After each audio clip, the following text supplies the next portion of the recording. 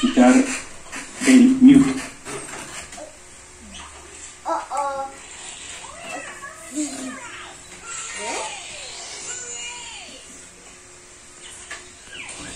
Que vamos con Luis Araúz.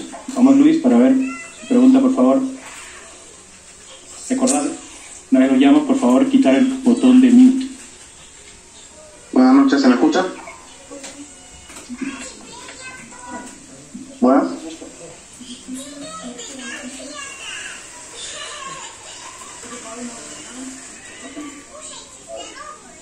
Diga Luis. ¿Se escucha? Ahora sí. Profesor, buenas noches. Esto, comparto su frustración y la del equipo. Eh, por ende, mi pregunta va más allá del juego en sí.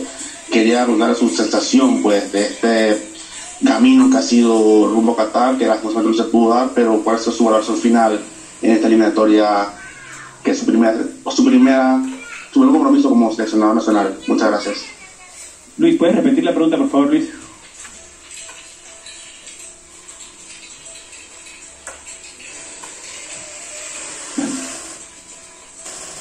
Ah, no, ahora sí. Sí, ahora, ahora sí. Es su valoración final, profesor, con esta octagonal final. Y bueno, ¿qué le espera ahora a la selección de Panamá contra Canadá? A pensar en el futuro, ¿no? Se hizo buen trabajo, en mi opinión, pero quiero saber cuál es su valoración final. Muchas gracias. Bueno, la verdad es que todo el grupo, tanto el cuerpo técnico, los que estamos alrededor de- del equipo, el equipo, los aficionados, todos estaremos pues mm, decepcionados por, por no habernos metido en el mundial o en la repesca.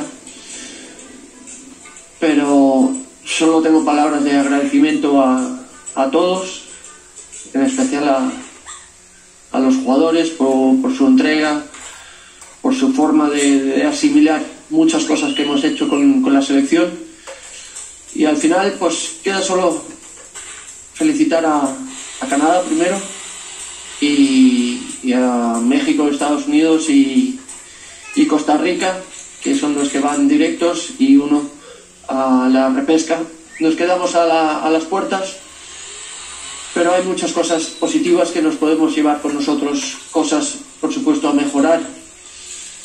Esta decepción última, pues, ha hecho mucho daño y costará reponerse, pero por suerte tenemos un partido el miércoles ante nu- nuestra afición que queremos dar la cara, queremos mostrar quiénes somos y, y competir hasta el último.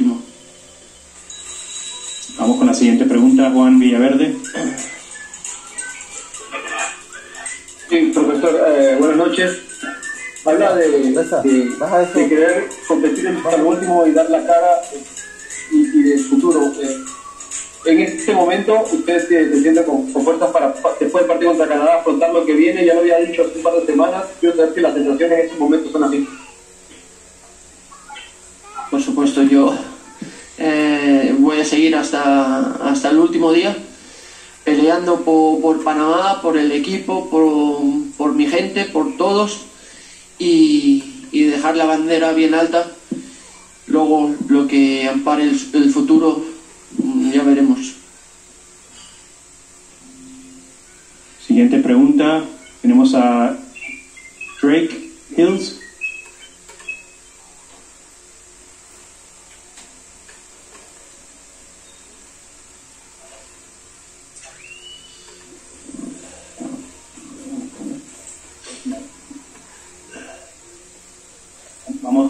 Orlando Castellán.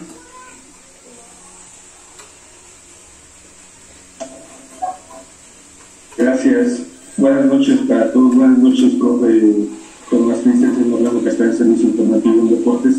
Profe, eh, más allá que se les ve la tristeza por, no haber eh, ocupado un lugar para llegar al, al- al Mundial y más allá de que han dicho pues, que los chicos han dejado todo, sí dejaron un buen fútbol porque hay que reconocer esa parte de, Panamá que dejó todo dentro de la cancha pero no sé si coincida conmigo si siente que el partido en casa contra Honduras ahí se, casi se les escapó la, la, la parte de la eliminatoria para seguir luchando por ese puesto de repesca? Yo creo que es, es obvio. Eh, en un partido que teníamos, lo teníamos de cara con 1-0, dejar dos puntos escapar sabiendo la importancia que tenía, conseguir los, los seis puntos, digamos, de, de casa e intentar rascar lo que se pudiese en, en Estados Unidos. Eso era el objetivo. Creo que no se invirtió lo que se tenía que invertir en, en ese partido, en, en, estar preparado mm, en todos los sentidos, el querer. Eh, y al final hemos pagado. Por ello, eh, cada uno tenemos que, que, asumir nuestras y, aprender, como he dicho a los chicos en el vestuario ahora, de lo malo de las decepciones, de las derrotas, es donde más aprende uno. Y eso para el futuro va a ser muy rico, llevarlo en la maleta como experiencia y para crecer en todos los ámbitos, también como persona. Pregunta, José Rodríguez. ¿Qué tal, profesor José Rodríguez? Estamos en vivo para 90 y más por COS.